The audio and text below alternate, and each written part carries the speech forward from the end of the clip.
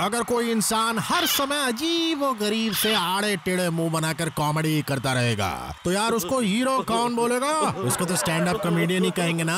Hero कौन होता है? जिसमें हीरो वाली कुछ बात होती है, कुछ क्लास होती है वर्सेटिलिटी होती है। रितेश देशमुख जी, सही कहा ना हमने?